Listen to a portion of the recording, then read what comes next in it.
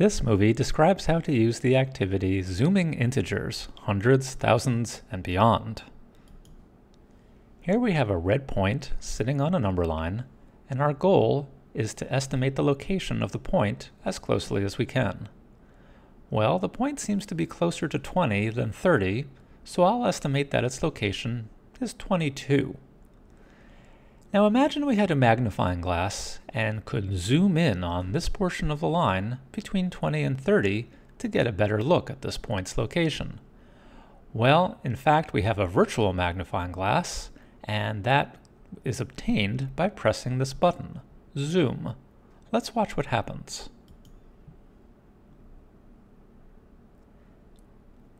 Notice that the portion of the number line between 20 to 30 is expanded, we see the same red point at the same location, but now we have some additional information, these tick marks. And the tick marks allow us to read the value of this point exactly. Our point is at 23. Just to check, we could press Show Location, and we can also press Animate Point and watch what happens.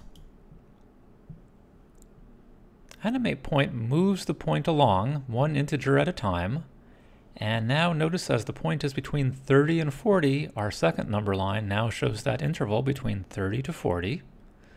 And now that interval will switch to 40 to 50. So this gives us a way of tracking the point's location more accurately as it moves along the first number line. I'll press Animate Point to stop the animation. I can press Reset to return to just one number line. And I'll press New Random Point to give myself a new point to identify.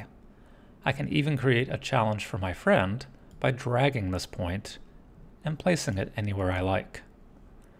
Now when this challenge becomes too easy of working on a 0 to 100 number line, you'll be ready to move on to the next challenges. For instance, here we have a 0 to 1000 number line. So it looks like to me that this point is sitting at 650. Let's check by zooming in on the portion of the number line between 7, 600 and 700.